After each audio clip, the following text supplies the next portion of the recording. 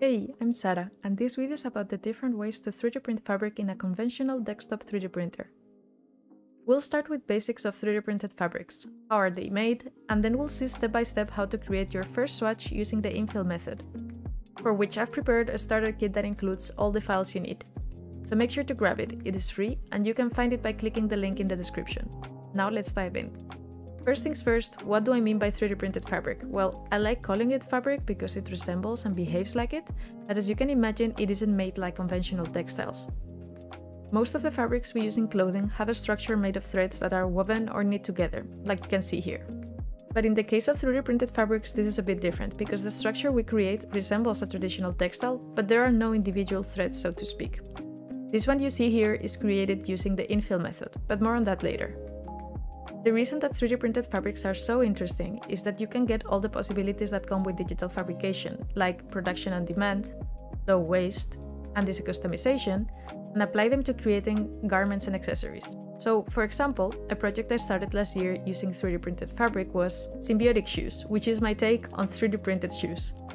This is just one example, but sky's the limit. There are a few designers already out there doing amazing things with 3D printed fabrics like Sarque or Sew Printed, so make sure to check them out, I'll put their names in the description.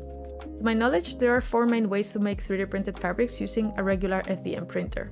Let's see them one by one.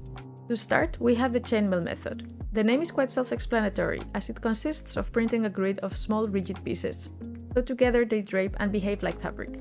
There are plenty of free models out there you can download and print immediately, I'll put a couple of them in the description. There is also the possibility of writing your own G-code. G-code is the language that most 3D printers use to receive instructions.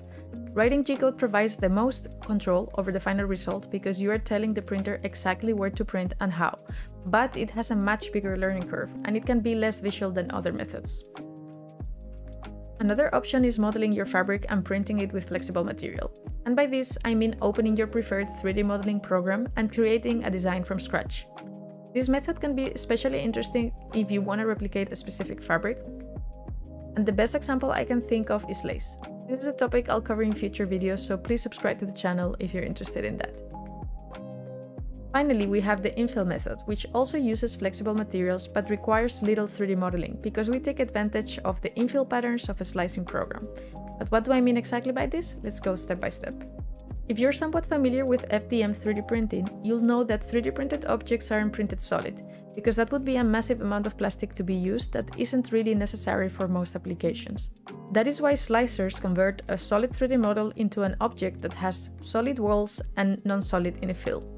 And luckily enough, the infill can be tweaked to look like fabric, which means we can import a very simple flat shape to our slicer, remove top and bottom solid layers, and get something that, when printed in flexible material, looks and feels like fabric. So as an example today, to make our first 3D printed fabric, we're going to make a 50 by 50 millimeter swatch.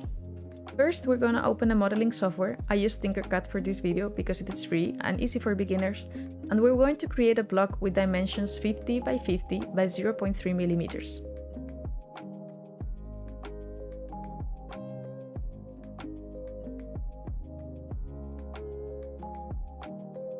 Then we hit export and make sure it is exported as STL.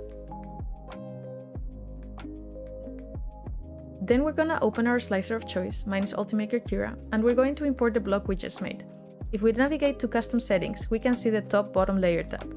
Click it and make sure that the fields top layers, bottom layers, and initial bottom layers are set to zero.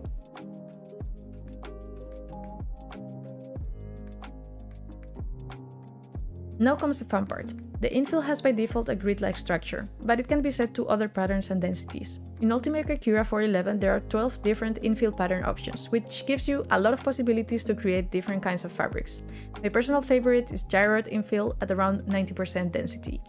And finally, prints. For this, make sure to follow the instructions of the filament manufacturer. Also, printing with flexible materials can be especially challenging depending on the printer. In general, printers with the feeder close to the nozzle, like direct drive, work best with flexible filament. However, it doesn't mean that you can't print 3D printed fabrics with Bowden style printers. I do it for example. It will just require slower print speeds and more fiddling with the settings until you find what works for your printer.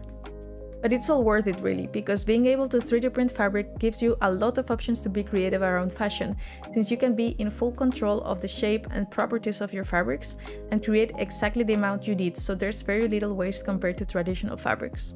So if you want to give it a try, remember there's a starter kit link in the description and it's completely free.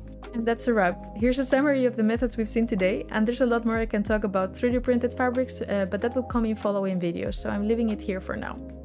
I hope you liked it and feel inspired to try any of these methods, and please let me know if you do. I'd also love to hear what other topics you'd like to see in future videos. Thanks for watching and see you in the comments!